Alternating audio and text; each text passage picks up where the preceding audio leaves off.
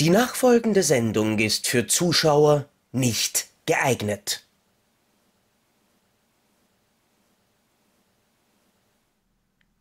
Hattet ihr auch eigentlich schon mal diesen tollen Moment? Tinder, Netflix und Chill.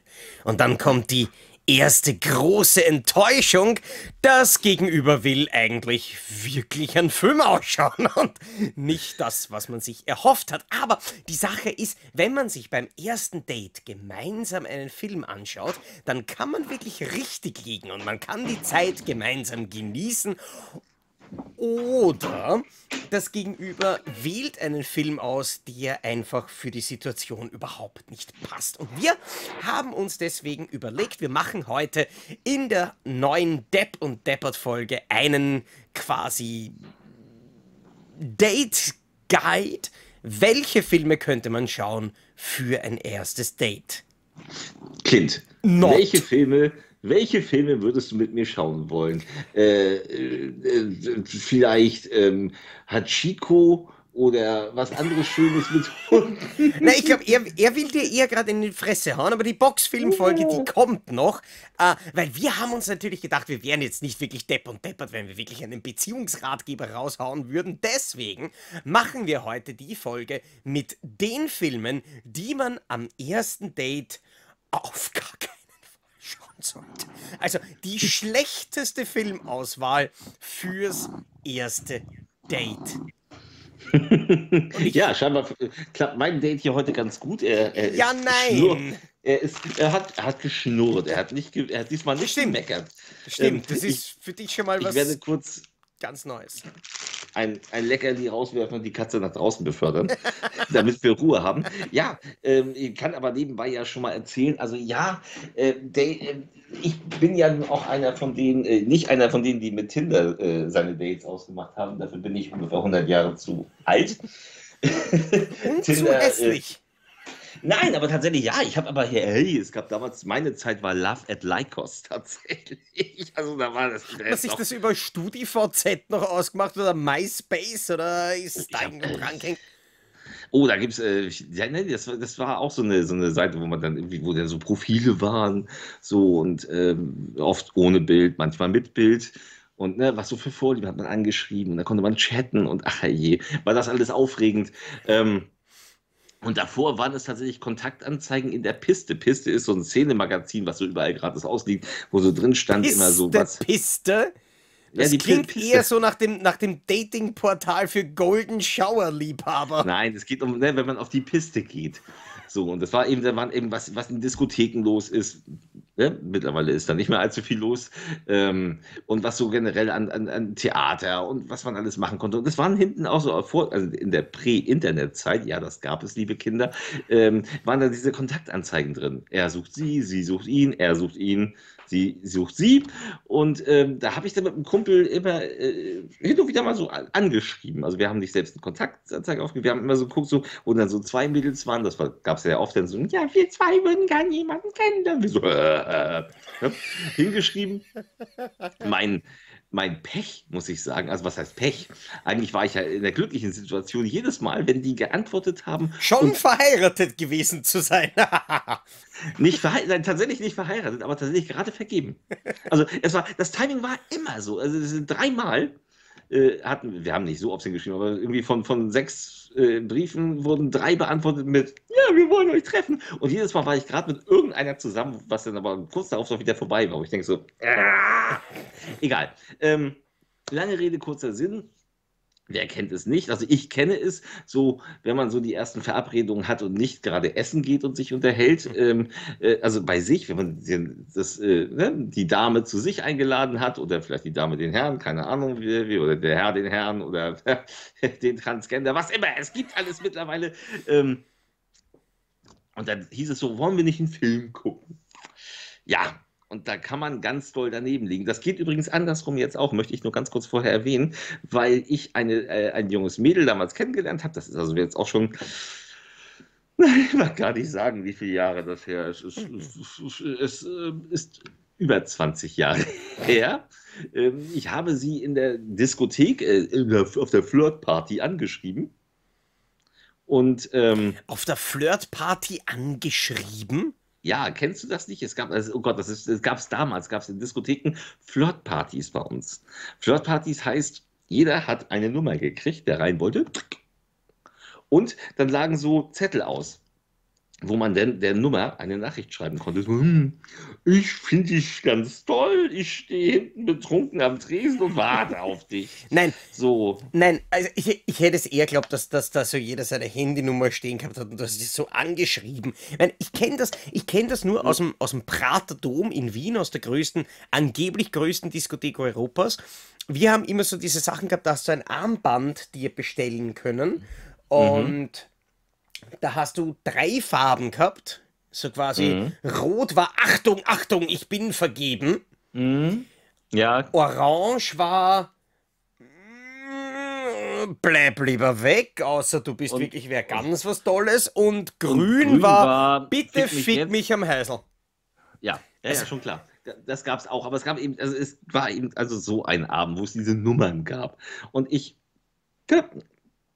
wie ich es in meinem Kurzfilm ja schon gesagt habe, sagen wir so, ich bin wieder Terminator in die Disco, äh, check, dick, dick, dick, dick, dick, ne? Ähm, äh, sieht gut aus, sieht nicht so gut aus, zu fett, zu hässlich, Hängetitten. Ähm, hab mir dann die richtige Und du hast dir nur die Männer angeschaut, das ist... Nur die Männer, ja, nein, nein. Ähm, ich habe mir dann eine auch gesehen, die ich dann auch angeschrieben hatte und es kam einfach keine Antworten. Und irgendwann ist Christian ne, nach Hause. Und hat, ich habe allerdings tatsächlich, es war, man muss sagen, es war die Zeit, da hatte noch nicht jeder ein Handy. Also es war wirklich, es war, es war Anfang 2000, da hatte nicht jeder ein Handy, meistens nur so ein Klotz, ich auch nur. Und hatte dann äh, aber meine Handynummer auch darauf äh, hingeschrieben. Bin nach Hause und habe am Sonntagnachmittag plötzlich eine SMS gekriegt. Eine SMS, liebe Kinder. Eine SMS. Das gibt's auch noch. Du hast mich gestern angeschrieben und leider habe ich das zu spät mitbekommen und hoch, ich würde dich ja gern treffen und habe die auch getroffen, habe mich mit der nett in, im Lokal unterhalten und dann kam sie irgendwie zwei Tage später zu mir und brachte ihren Lieblingsfilm mit. Hm, ich habe auch meinen Lieblingsfilm mitgebracht. Sie war nämlich äh, leidenschaftliche Reiterin. Das hat dich wahrscheinlich an dem Abend dann nicht gestört. Äh, das hat mich dann gestört, als sie dann nämlich äh, ankam mit Der Pferdeflüsterer. und nein, nein, und nein, tatsächlich, ich muss zugeben, der Pferdeflüsterer mit Robert Redford, äh, äh Kristen Thomas und äh, der jungen Kristen Stewart, glaube ich, war es, ähm, ist kein schlechter Film. Um Gottes Willen, das ist kein schlechter, das ist ein gut gemachter Hollywood-Film. Sicherlich ist er eigentlich eher für Frauen, aber er ist kein schlecht gemachter Film. Aber dieser Film geht weit über zwei Stunden und hat mir natürlich total die Tour versaut, weil es dann auch irgendwann dann relativ spät war und sie dann auch sagte, so, ich muss dann jetzt auch wieder nach dem Film. Mhm. Nicht so. ja. Und deswegen möchte ich eigentlich tatsächlich starten mit einer Warnung, Leute. Wenn ihr ein Date habt mit einer, äh, mit einer Person, bitte nehmt nicht, auch wenn es euer Lieblingsfilm ist, weil ihr ihn in eurer Kindheit an Karfreitag so oft gesehen die habt. Die Herr der Ringe-Trilogie. Nein, nein, ich wollte jetzt auf die zehn Gebote kommen. Die zehn Gebote mit Charlton Heston und Yul Brunner. Ein großer Hollywood-Film, ein großer Mon Monumentalfilm. Also ich warne vor allen Historien und Monumentalfilmen äh, von 1956 in dem es halt darum geht, wie Mo um das Leben von Moses, äh, bis zum, äh, ja, wer das Volk befreit und bis zu den zehn Geboten, Schaltnästen. Großartig inszeniert. Eigentlich ein toller Film, aber auch ein Film, der, äh, ich muss lügen, ich glaube, um und bei vier Stunden geht. und somit absolut, ja, du siehst gerade, äh, auf DVD hat er eine Laufzeit von 222 Minuten. Ja. Ähm, darauf kann man sofort einen trinken. Aber okay. ähm, das, ist, das ist natürlich, weil es eine Schnapszahl ist, aber ähm, das ist natürlich für ein Date der reine Tod, weil wenn sie oder er nicht eingeschlafen ist, hat derjenige schon keinen Bock mehr nach einer Stunde, weil die sind natürlich nach heutiger Sichtweise, der Film ist ja nun auch schon bald, äh, geht bald auf die Zeit zu, dass er 70 Jahre alt ist, äh, nicht unbedingt so wie man ja, heute wo, äh, Filme guckt. Übrigens, auf zwei, auf zwei DVDs verteilt ist er sogar. Ja, da muss man sogar nebenbei aufstehen. Das ist dann halt ja. gerade beim Date vielleicht auch schwierig, wenn man so gerade dabei ist und dann will man halt in der Situation auch gerade nicht aufstehen. Ähm, aber ich muss, ich wir- muss aber auch sagen, eine, äh, das, was du Ja. gerade vorgeschlagen hast, ist auch etwas quasi wieder dem Sinn, weil wer beim ersten Date ficken will, der kann keine Bibelverfilmung aufdrehen. Das ist, Du, natürlich, nein. das Lernen wir jetzt einfach einmal vier Stunden, wieso wir in fünf Stunden in die Hölle fahren. Nein, also das Ding ist natürlich, kannst du keine Bibelverfilmung nehmen, außer vielleicht, naja, wobei äh, Passion Christi wäre vielleicht eine interessante Die hatte ich Möglichkeit. tatsächlich auf meiner Liste. Schade, tut mir jetzt leid, aber kannst du gerne übernehmen, dann übernimm doch schnell die Passion Christi. Nein, die übernehme ich nicht. Ich übernehme, glaube ich, den, den Dann lass mich besten. das, dann lass mich Ja, das zu Ende mach führen das. erst. Ähm, also, nein, natürlich könnte man die Passion Christi nehmen. Wenn man Pech hat, ist die andere Person aber so SM-mäßig veranlagt, dass das Übel für einen ausgehen könnte im Nachhinein. Ich weiß nicht, hast du was gegen einen Dornenkranz am Schädel? Oder? ja, es ist nicht so Gut, ganz wenn, wenn wir dann eine Stufe tiefer gehen im wahrsten Stopp, Sinne des stopp, stopp, Wortes. stopp. Um noch mal ganz kurz auf die zehn Gebote, ganz kurz. ähm, das gilt jetzt, wie gesagt, für jeden Mon- Monumentalfilm. Also es muss ja nicht nur bibelmäßig, auch Cleopatra ist tabu, bitte Leute. Auch Ben Hur, auch wenn das eigentlich ein ganz geiler Film ist, ist für ein Date bitte tabu. Aber das sollte selbstverständlich sein. Jetzt darfst du. Ja, ich wollte gerade sagen, ähm, wenn wir gerade über, über den Dornenkranz gesprochen haben, wenn wir den Dornenkranz mehr oder weniger eine Etage tiefer verlagern, Human Centipede 2 ist vielleicht auch nicht, Hm. vielleicht auch nicht wahnsinnig geeignet, aber dafür, Keiner der Teile. dazu kommen wir später, weil ich wollte unbedingt, also meine Nummer 1, der für ein Date perfekt ausgelegten Filme Schindlers Liste. Ja! Das ist Immer wieder, Also- immer wieder fröhlich. Am besten im Ja. Double Feature mit der Junge im gestreiften Pyjama. Dann ist die Stimmung so richtig dahin. Da, und, dann, und, dann äh, noch, und dann noch so sagen, und dann noch so sagen, du, ich, ne, ich weiß, wie du dich fühlst. Mein Vater, äh, mein Opa ist auch im Krieg gefallen. Er war betrunken und ist vom Wachturm gefallen. Das, ähm, dann hat man den Abend so richtig versaut. Nein, um Gottes Über Willen. den, Also, über den ähm, darf man eigentlich, glaube ich, heutzutage nicht mehr lachen, oder? Das ist Nein, ja, darf man- ja, darf man auch ich lache, nein, Ich gehe das ist. geh, äh, ich nein, geh mich nachher in die Ecke schämen, okay? Also, Auf, auf jeden Fall. Nein, also um Gottes Willen. Nein, äh, Schindlers Liste und äh, auch der Junge im gestreiften Pyjama, das sind ganz fantastische Filme. Absolut. Also ich absolut beides und beides Filme, also ähm, wo die einzigen Körperflüssigkeiten, die hervortreten, werden Tränen sein. Und es ist tatsächlich so, dass ich bei beiden Filmen tatsächlich also da auch dann heulen würde. Also das, das, das gebe ich offen zu. Ich bin jemand, der bei äh, Filmen auch weinen kann. Und es gibt so, es gibt bei Schindlers Liste gibt es diesen einen Moment für mich. Es ist so ein einziger Moment. Es ist der Moment, wenn er am Ende nämlich sagt, so, ey, ne, wer bereut, was er immer noch besitzt, womit er Leben hätte retten können. So, das hat mich echt fertig gemacht. Ich denke so, Alter, ne, boah, ist das übel, wenn du bedenkst, ne, dass das, boah. Ja, Und eben die Nummer nachher am, am Grab von ihm, ne? wenn, wenn wirklich die Original, die Überlebenden von damals äh, ihren Tribut zollen und da ans Grab gehen, am Ende dann auch äh, Spielberg, das ist extrem bewegend. Mhm. Und Junge äh, gestreiften Pyjama sowieso, ich meine, da geht es um Kind, da geht es um, um Jungen. Scheiße, der Film Ja? war so arg. Ich habe das, Ja. also ich habe das, ich habe das damals gar nicht gepackt, gar nicht gepackt.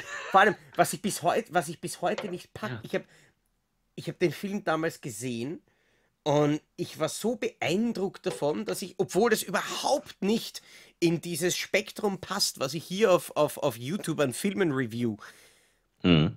ah, habe ich ein Video zu dem Film gemacht. Und ich glaube, das hat 5000 Klicks oder irgend sowas. Das ist. Warum?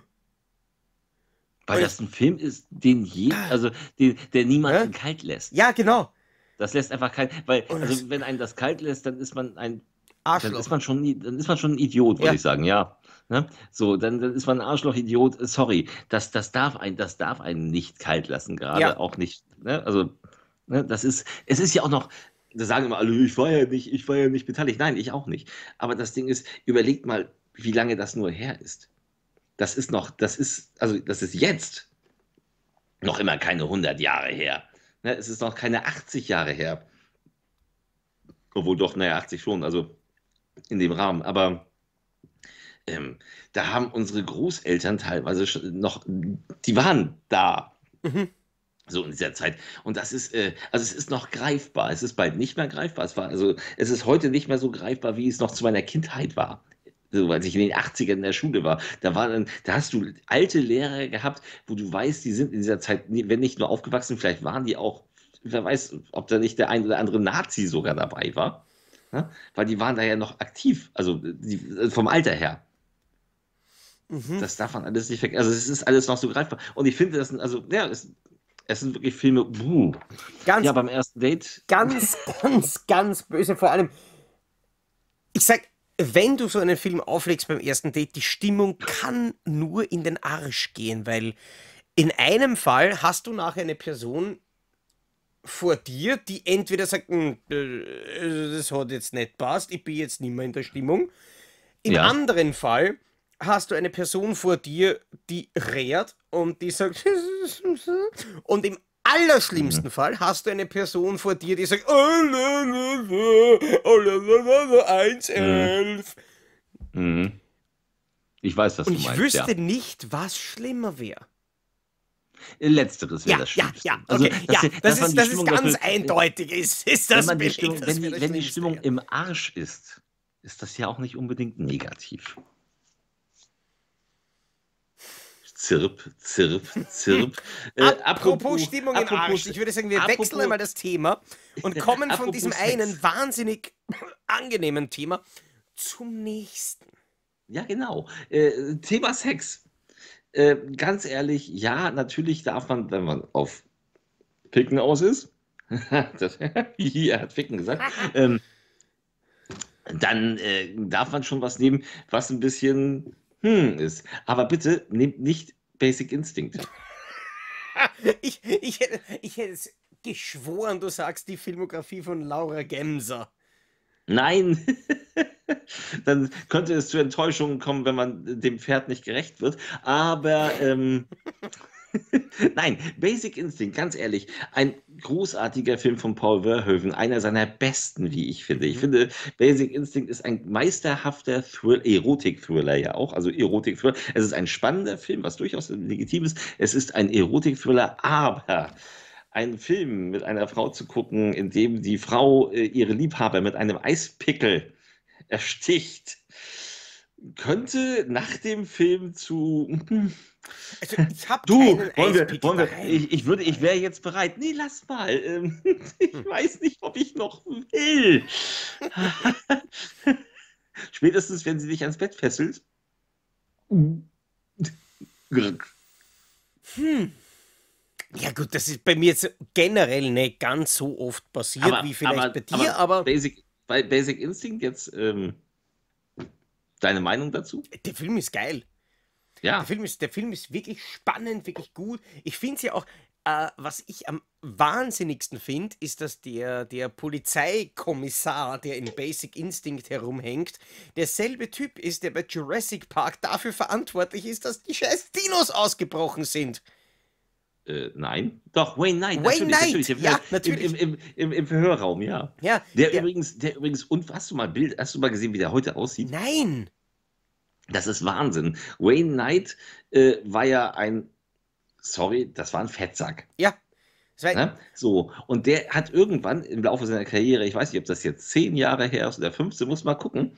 Ähm, also der, der, Schauspieler noch, den erkennst du aber kaum noch, weil der ist irgendwann zum Arzt gesagt, gegangen und sein Arzt hat gesagt, also wenn sie ihn nicht abnehmen, dann haben sie ihn nicht mehr lange. Und dann hat er abgespeckt. Aber wie? Und der ist konsequent. Und der sieht jetzt richtig gut normal aus. Schon seit vielen Jahren. Ich muss das so jetzt abgefahren. Also der hat, ne, jetzt, weil ich kenne ich kenn ihn. Kennst du jetzt, dieses Gefühl jetzt quasi her? noch als, als, als, als quasi den, den, den, den knuffigen Typen.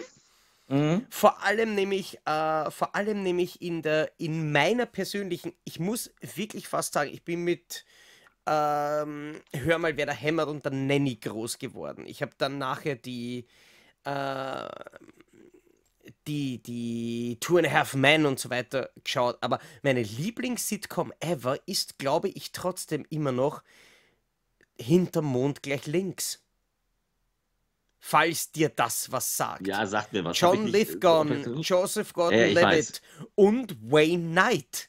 als Love Ja. Interest von der Tochter und er war großartig in der Serie. Also, wie sah, wie, wie, wie sah er da aus? War er da noch dick? na, End 90er. Also, En- Da war er dann noch dick. Ne? ja. Dann, dann geh, mal, geh, mal ganz nebenbei, während wir hier sprechen, einmal auf die IMDb-Seite und guck dir mal sein, sein Profilbild an. Und dann sei erstaunt. Ich meine, du kennst das vielleicht irgendwoher, die Geschichte von einem fetten Kerl, der irgendwann beschließt, abzunehmen, damit er vor der Kamera gut aussieht. Hast du das schon mal irgendwo gehört? Ja, das ist, ne, ich mein, das ist beeindruckend. Ich meine, er schaut, sagen wir so, schlank ist er immer noch nicht, aber er schaut gesund aus. Ich, Und du das ist sehr schön. Du, du versuchst gerade abzulenken, oder? Was meinst Naja, der fette Kerl, der irgendwann beschließt, abzunehmen. Kommt dir das irgendwie bekannt vor? Ja, aber das Problem ist, äh, dieser fette Kerl, der beschlossen hat abzunehmen, Der kommt zurück. ist derjenige, der jetzt wieder fetter ist. Will, willkommen in meiner Welt.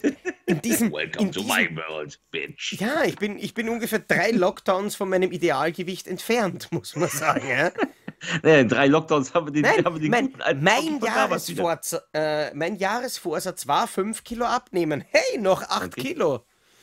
äh, Nein, nein, alles schaut gut aus und das freut mich, ich finde, er ist ein unglaublich cooler, wahnsinnig sympathischer Schauspieler. Ich mag ich den mag Typen. den auch.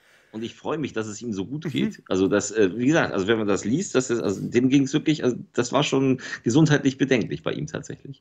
Aber Okay, das aber nur so, nebenbei. so arg habe ich das bei ihm eigentlich nie empfunden. Also Nee, war aber tatsächlich dann so. Also, weit unter Ottfried Fischer Niveau zum Beispiel. ja, okay, das äh, mag sein. Gut, Was hast du denn für uns noch? äh, wie wär's mit I Spit on Your Grave? Generell finde ich, Vergewaltigungsfilme sind eine grandiose Idee für ein erstes Date. Schon. Ob, ob, es, ob, ob es der ist, ob es Last House on the Left Ja. ist oder generell. Ich hätte- Also, Ich hätte ja in dem Fall, weil ja, sagen wir, das moderne Publikum ja jetzt nicht unbedingt so mit den Filmklassikern umgehen kann, hätte ich ja auch tatsächlich wirklich eher das Remake nominiert. mh, oh Gott.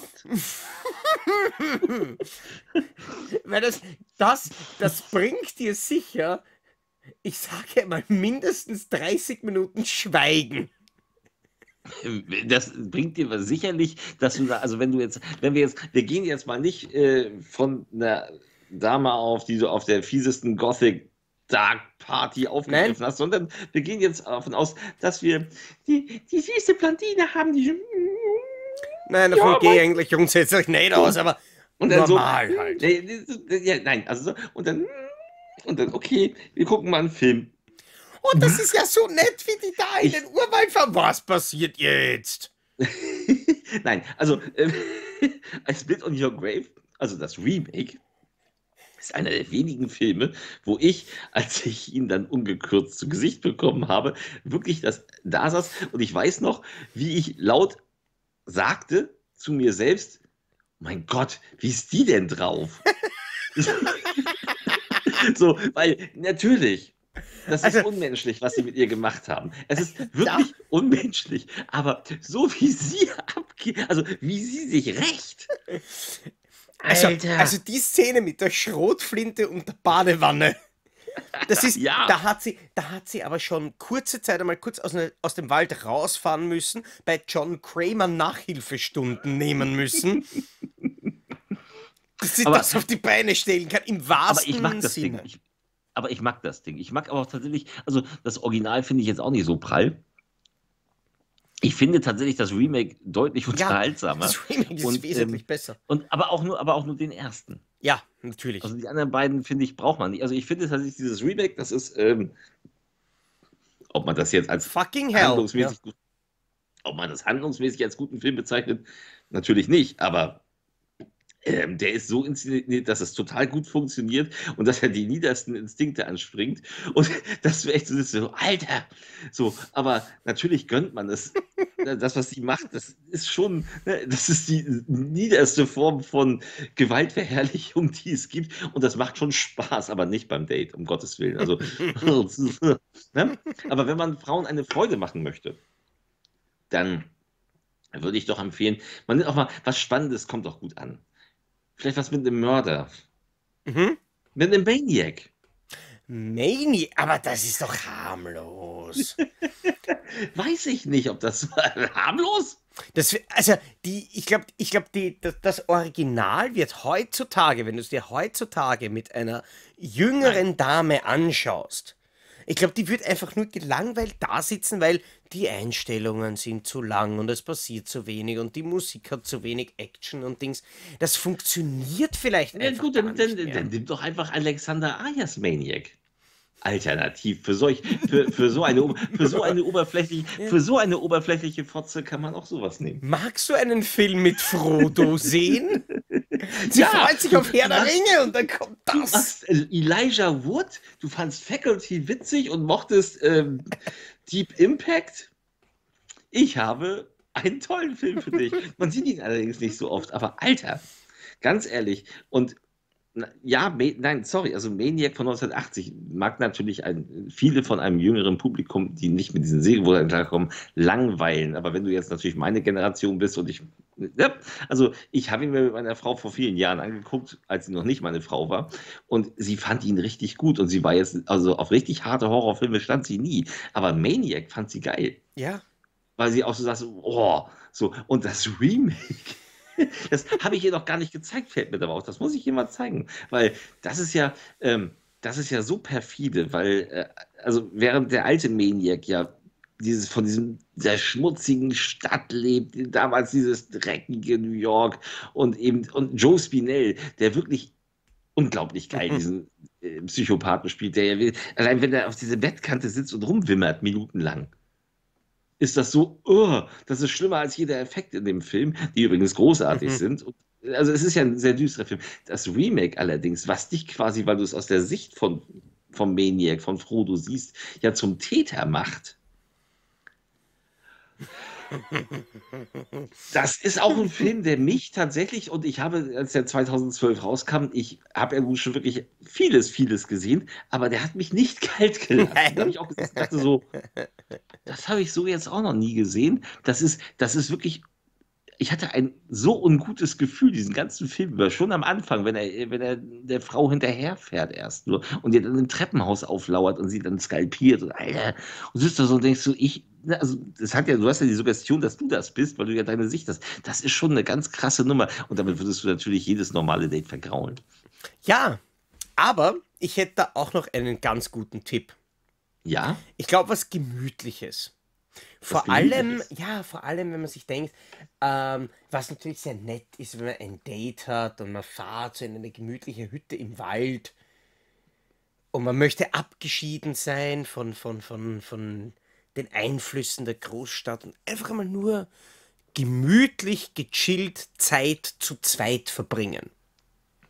Ja. Und dann schaut man Antichrist. Lars von Trier ist Lars eine, von Trier eine, ist für ein erstes Date und da ist es relativ egal, was man da eigentlich so nimmt. Also, außer vielleicht, man nimmt, ähm, oh Gott, wie heißt der, der mit Kirsten Dunst und Kiefer Sutherland? Ähm, ist das Mag heißt der Mag nee, ah, ah, ja, ich weiß schon, ich weiß schon, Melancholia, Melancholia, ja. Das ist so der einzige, das ist so der einzige Lars von Trier-Film, der mir erst jetzt einfallen würde, wo ich sagen würde, das wäre okay. Ja, nein. Weil der auch aber, natürlich. Ja, aber ich meine, Hardcore-Inserts, während das Kind aus dem Fenster springt und dann sind sie in der Hütte im Wald und man sieht explizit, wie sie ihm mit einem Holzscheit den, sagen wir mal, Beidel auf Werkszustand zurücksetzt. Das ist. Ja. aber ich, ich, ich, weiß aber auch ehrlich gesagt nicht, ob Nymphomaniac eine bessere Wahl wäre. Ich glaube, ich glaube, ich glaube, bei Nymphomaniac, wenn du dir das beim Date anschaust, dann stirbst du an Neid. Das zum einen und zum anderen, äh, also wenn, wenn sie dann geil wird. Ja, und du dir denkst, ja, passt, die Hälfte von dem kann ich dir auch bieten. dann kannst du nur enttäuschen bis unter Druck und äh, wenn sie das geil findet, weißt du auch so ein bisschen so, echt jetzt? hm, fände ich dann auch komisch. Aber nein, also generell auch The House, der Jack Bills und so. Lars von Trier ist halt echt. und auch nicht und auch nicht massenkompatibel. Man sollte ja, Ja. immer beim ersten, wenn man jetzt eine erste Szene hat, muss man ja davon ausgehen, dass die Person eigentlich normales Zeugs guckt. Das kann ja auch eine sein, die dann sagt, heute gibt es das Dschungelcamp. Na, Wenn du, wenn du Hoden schlucken möchtest, dann mach. Aber guck's dir nicht im Fernsehen an. ja, wobei, du wärst dann aber trotzdem auch immer noch böse, wenn sie reinbeißt. Das wäre ich definitiv, ja. Ähm, aber wo wir bei Hodenschlucken und ekelhaften Sachen sind. Ähm, Ah, danke, das war die heutige Folge von Depp und Depp. und Ich hoffe, ihr hattet Spaß. Wir sehen uns nächste Nein, nein, nein, Was? nein, nein, nein, nein, nein, nein. Ähm, Jackass. Alter. Ja, stimmt. Und dann ja. Jackass, Jackass gucken und wenn sie anfangen, dann so die, die, die Eiswaffel zu nehmen und den gelben Schnee reinzufüllen und zu fressen, laut loslachen.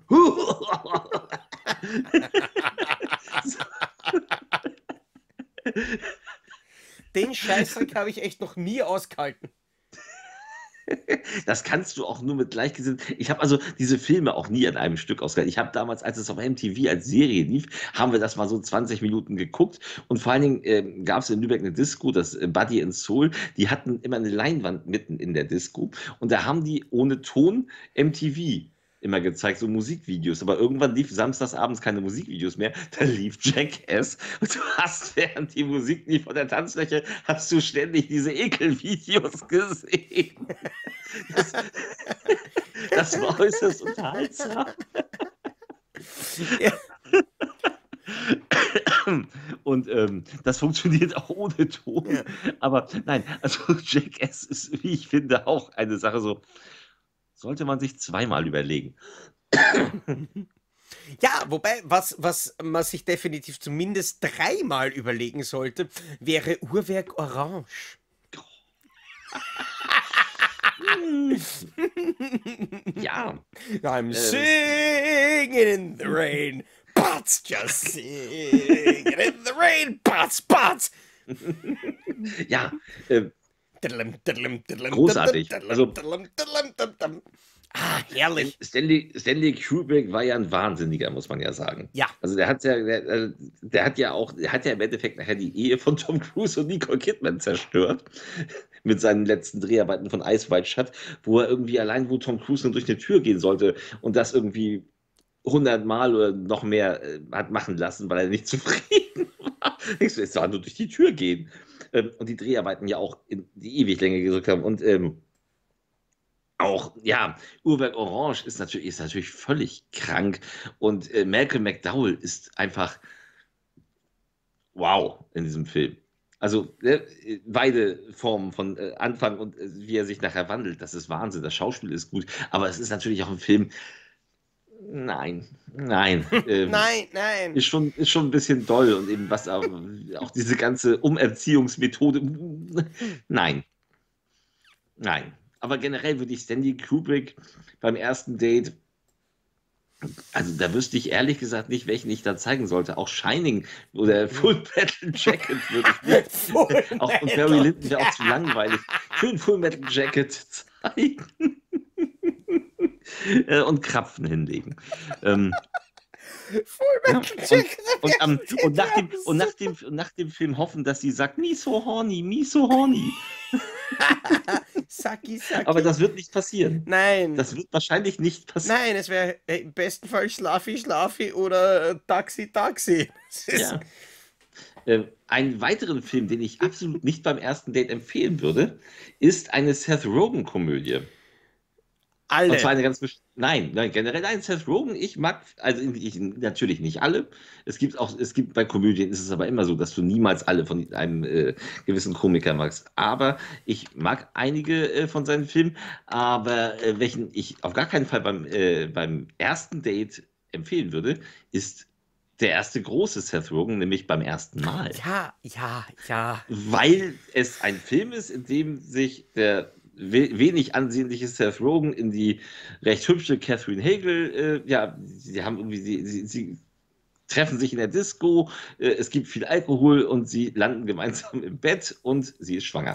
Ja, ich finde find generell Filme über ungewollte Schwangerschaften sind womöglich beim ersten Date nicht das Das meine ich damit. Das ist so, hm, das sollte man sich überlegen. Man kann Seth Rogen-Filme nehmen, dann nimmt Superbad oder solche Sachen. Das ist ein, schön, das ist ein schöner Lacher. Oder das Ding jetzt hier mit Charlize Theron, äh, Longshot, ist auch super lustig, aber auf gar keinen Fall nicht beim ersten Mal. Na, das ist Man muss, man, muss, man muss ja nur schauen, wie man im Fall darauf reagiert. Und am nächsten Tag macht sie Schwangerschaftstest und oh Gott, positiv, was ist jetzt? Und du sagst, Schatz, ist kein Problem, da habe ich noch einen Film, Rosemary's Baby.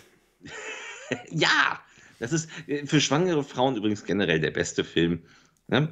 Lasst uns Rosemary's Baby gucken. Übrigens ein ganz toller Film, wie ich finde. Ich weiß Ja. nicht, wie du zu Rosemary's Baby stehst. Äh, ich kann. Ich, habe ihn einmal gesehen, es ist Ewigkeit. Es ist Ewigkeit. Ich habe ihn, ich habe ihn tatsächlich das erste Mal gesehen, ganz kurz abschweifend, als ich Kind war. Also, was ist Kind? Also so zwölf im Fernsehen. So, und konnte gar nichts damit anfangen. Fand das irgendwie so hm, interessant, aber ich habe ihn jetzt tatsächlich, als er vor ein, zwei Jahren kam, er auf Blu-ray raus nochmal. Und dann habe ich ihn wieder gesehen und das ist ein verdammtes Meisterwerk. Ja. Der Film ist, ja- ist, ja, ist ja so gut und der funktioniert aus psychologischer Ebene. Der, Horror funktioniert ja auf ganz andere Art wie sonst, aber der funktioniert. Alter, ist das, ist das gut? Ist dieses Haus äh, ist diese, sind diese Hausbewohner bedrohlich und sie tut einem so leid und das ist, ähm, das ist ein geiler Film. Ja, wobei man halt grundsätzlich sagen muss, ich bin halt ein bisschen vorsichtig, wenn Roman Polanski was mit Kindern macht, aber ich Das hätte ja, noch- ja an der Stelle einen anderen Film nominiert, der finde ich fürs erste Date auch absolut prädestiniert ist. Misery. ja, ähm, dann sag ich mal, landest du am Ende im Bett. Ja, aber ich glaube, ich freue mich dann nicht so drüber. Aber das ist dann, aber wie, wie sieht das dann aus? Du liegst dann da im Bett und sagst dann, ich habe hier einen Stick mit dem neuesten äh, Zocki Platz der Kragen Video und sie darf ich schon vorab sehen, bevor es veröffentlicht wird. Und du natürlich, ich warte deine Meinung ab und dann kommt sie wieder rein. Du fandst, äh, die, du fandst Twilight scheiße? Bam, Fuß gebrochen. hm. Weiß nicht. Ähm, weil das wäre ja die Alternative. Nein, Misery, äh, doch, ich glaube tatsächlich, dass also unter normalen Umständen Misery gehen würde. Ja, Also das ist, da, da übertreiben wir jetzt ein bisschen. ja, wobei, wobei trotzdem allein, allein die Situation, dass dann jemand im Bett ist, vielleicht im.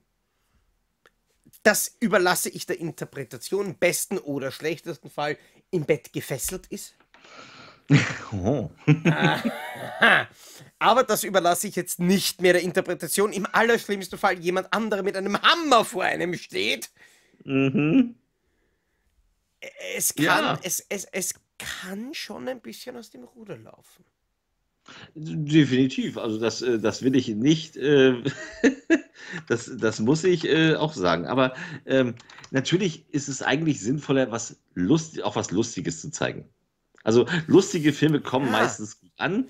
Ah! Man sollte nur, man sollte nur aufpassen, dass man den richtigen Humorton trifft. Und natürlich könnte man eine Spoof-Komödie nehmen und so nackte Kanone und so. Das würde die Stimmung auflockern. Welchen ich nicht empfehlen würde tatsächlich, ist Scary Movie 2. Oh, ich habe Das jetzt an was anderes gedacht. Nein, nein, weil Scary Movie 2 wirklich nur aus Ekel, Kotz und ähm, im Falle des, des, des Butlers, der, äh, der von Chris Elliott gespielt wird, der dann irgendwie den Truthahn. Ja, aber das Problem ist, das Problem in meinem Fall wäre, ich könnte ja gar nicht mehr erotisch werden, weil ich müsste ja die ganze Zeit lachen. Ist, ich mag Scary Movie 2. Echt? Ich finde tatsächlich Scary Movie 2 ganz, ganz furchtbar. Ich Also ich, ich fand Scary Movie 1 okay, aber das 2 fand ich und ganz furchtbar. Wobei, tatsächlich muss ich an der Stelle einwerfen, wie du gemeint hast, so Komödie und Spoof-Komödie und was man auf gar keinen Fall schauen kann wegen seinem Humor. Ich hatte ja schon 100% damit gerechnet, dass du sagst Postal. Ja, Postal ist natürlich auch ein. Ist ja. Vielleicht auch nicht fürs erste Date geeignet, wobei ich trotzdem immer noch der Meinung bin, es ist der beste Boll. ja, so viel Gute hat er ja auch nicht gedreht. Aber ich mag den Film. Ich mag den. Der, der war witzig.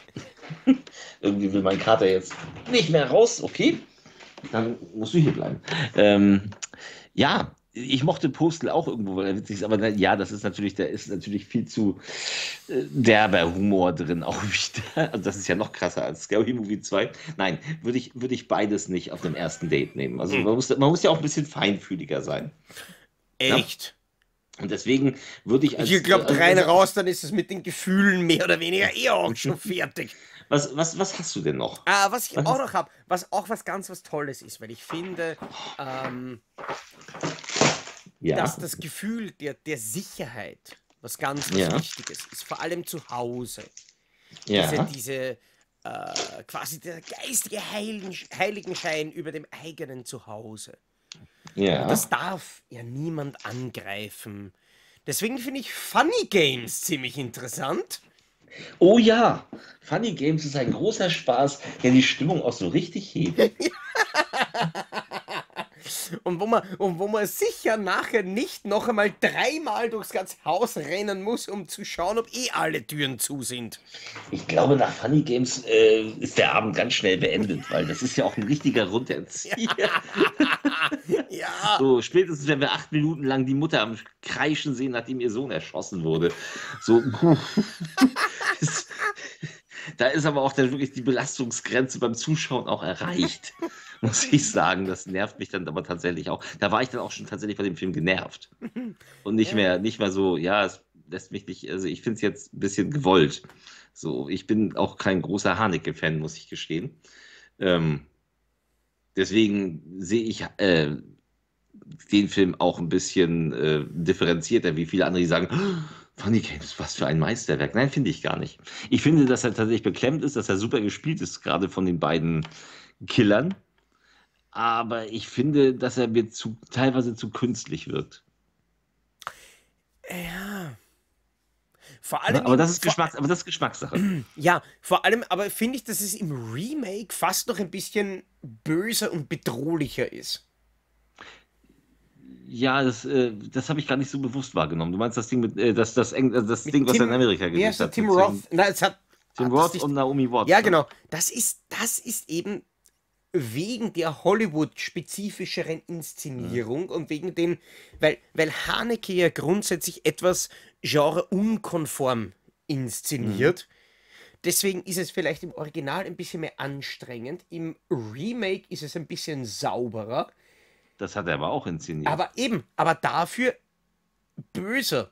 Weil mhm. für das, was die, was quasi die Hollywood-Remake-Konventionen sagen, ist das, mhm. was er zeigt und das, was er macht, dann einfach noch böser. Weswegen ich zum Beispiel sage, ähm, eine möchte ich noch reinwerfen, übrigens, der sicher auch ganz ja, toll kommt. Ja, einen habe ich auch noch. Aber äh, auf einem ersten Date, Old Boy. ja, äh. Vor allem dieser langgezogene Dialog am Ende mit dem, was dann rauskommt, ist sicher ja. fantastisch. Aber ich wollte ich also, es eigentlich eben nur deswegen sagen, weil ich eine Lanze fürs Remake brechen möchte. Ja. Weil ja so viele Leute sagen, das Old Boy Remake ist eines der schlechtesten, eines der unnötigsten Nein, das Remakes ist er nicht. aller Zeiten. Nein! Es ist, ist ein guter, spannender, wirklich toll inszenierter Film. Ja, für alle, nur... die das Original nicht kennen.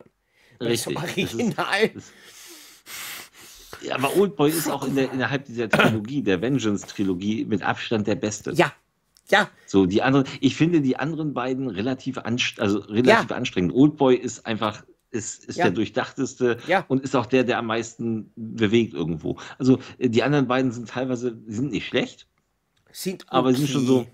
Mh, mh, hm, ja, sie brauchen ein bisschen arg. Ja, ähm, nein, sie sind ein bisschen langweilig. Sie haben, sie haben vor allem nicht diese, diese Wendungen, die Oldboy ja. einfach aus dem Hut zaubert. Das stimmt. Ich möchte meine Vorstellung, äh, also meinen letzten, du hast ja dann gleich noch mhm. einen sicherlich, ich möchte meins beenden mit einem Film, den ich mit 14 Jahren im Kino gesehen habe wo ich übrigens froh war, dass ich ihn im Kino sehen konnte, weil er war, äh, er ist auch heute noch ab 16 freigegeben und ich hatte Glück, dass ich die Kinokarte bekommen hatte. Es war ein Montagabend und ich saß im Kino und hatte mich gefreut, einen Film von Danny DeVito zu gucken. Also Regie Danny DeVito und er spielt auch mit. Der Rosenkrieg. Was? Ah, ist es Kramer and Kramer? Nein, Ah, nein, okay. nein, nein. Der Rosenkrieg ist, die, ist, quasi, ist quasi die Komödienvariante, die sehr schwarze Komödienvariante mit Michael Douglas und Kathleen Turner, die, ähm, ja, die, die die Roses sind. Und zwar, Danny DeVito ist ein Scheidungsanwalt, ein sehr erfolgreicher. Und er hat einen, einen äh, Kunden bei sich und ähm, er redet ihm, äh, redet ihm ins Gesicht, äh, Gewissen. Also meint, so haben Sie sich das gut überlegt mit der Scheidung. Ich erzähle Ihnen jetzt mal die Geschichte von zwei Freunden von mir, den Roses. Und dann siehst du quasi, also er erzählt von Danny DeVito die Geschichte, wie sich äh, Michael Douglas und Kathleen Turner kennenlernen. So die, die typische, äh, also als wenn du auf der Jagd nach dem grünen Diamanten guckst, so sympathische Figuren, die dann, sie landen mit im Bett, äh, er bereitet ihr einen Multi-Orgasmus und sie ist völlig begeistert. Sie, sie ziehen zusammen, sie haben kein Geld, er wird erfolgreicher Geschäftsmann, sie ist gelangweilte Ehefrau und irgendwann äh, kriegt er einen Herzinfarkt und liegt in der Klinik und sie kommt ihn nicht besuchen. Und er kommt dann irgendwann aus der Klinik nach Hause und sagt, warum warst du nicht da? Konntest du es nicht ertragen, mich so zu sehen? Sie so, nein, ich konnte es nicht ertragen, dich zu sehen. Ich konnte es überhaupt nicht ertragen, dich zu sehen. Ich will die Scheidung. und, er ist, und er ist völlig außer sich und kann überhaupt nicht verstehen, weil er eigentlich ein arroganter Sack geworden ist, warum sie ihn nicht mehr liebt. Und er sagt so, nee. Und sie so, du kannst alles haben, ich will nur das Haus. Weil das habe ich komplett ausgestattet. Und er so, nee, das Haus kriegst du nicht. Ich bleibe hier, wir gehen bis zum Äußersten und äh, dann teilen sie das Haus in Bereiche ein. Also sie beginnen eben den Rosenkrieg. Also sie beginnen sich richtig zu bekriegen und das so derbe, dass ähm, das Studio damals, 20th Century Fox, ähm, Danny DeVito angehalten hat, den Film umzuschneiden, äh, weil er zu derbe war. Die, was ursprünglich drin war noch, das kann man heute nur erahnen. Also der Film musste massiv umgeschnitten werden, um nicht so böse zu sein. Trotzdem ist er immer noch herrlich lustig. Er ist immer noch sehr, sehr böse und ähm, ein ein großartiger Film, also eine Mischung aus Drama und Komödie, in dem wirklich, also es beginnt als äh, romantische Liebesgeschichte und es endet damit, dass sie sich quasi die Köpfe einschlagen. Und das ist wirklich geil, aber es ist eben kein Film, den man so als Frau schon so, hm, frisch verliebt, lass uns mal angucken, was draus wird. Schlechte Wahl, aber generell eine gute Wahl als Film. Ich würde jetzt einfach nur ganz kurz am Ende, wirklich für äh, schnellen Appendix, The Greasy Strangler einwerfen. Ja, den habe ich tatsächlich nie gesehen. Ja, das ist was relativ Grausliches. Das Irgendwie. glaube ich. Mit Fett und Leuten erwürgen und äh, mehr habe ich mir eigentlich auch irgendwie gar nicht gemerkt. Aber ich hatte Spaß bei dem Film, aber ich glaube trotzdem Das nicht, ist bedenklich. Aber ich, ich glaube trotzdem nicht, dass das ein wirklich geeigneter Film fürs erste Date ist. Es ist Absolut nicht. in diesem Ja. Sinne, äh, was definitiv für ein erstes Date nicht geeignet ist, das ist äh, ein Podcast von Depp und Deppert. Aber falls ihr übrigens in Kürze mal ein erstes Date hättet, probieren wir das mal aus, so wir vier gemeinsam. Legt eine Folge Depp und Deppert auf und schreibt uns danach eure zehn besten Scheidungsgründe in die Kommentare. Ab welcher Ja. Minute ist sie euch davon gelaufen? Wir wissen es nicht. Wir wissen auf jeden Fall, wir müssen nicht weiter als Zahlen rauf. Fünf. Wahrscheinlich, wahrscheinlich drei Sekunden, bevor man die Werbung wegklicken konnte. Ich glaube, es war zwei Sekunden, nachdem man dein Gesicht gesehen hat. Aber wir Immerhin zwei Sekunden durchgehalten, das ist schon neuer. Ja, ich glaube, aber in den ersten zwei Sekunden haben wir noch nicht gesprochen. Naja, lassen wir das. Das war die heutige Folge Depp und Deppert. Wir hoffen, ihr hattet wieder viel Spaß. Das waren unsere schlimmsten Filme fürs erste Date.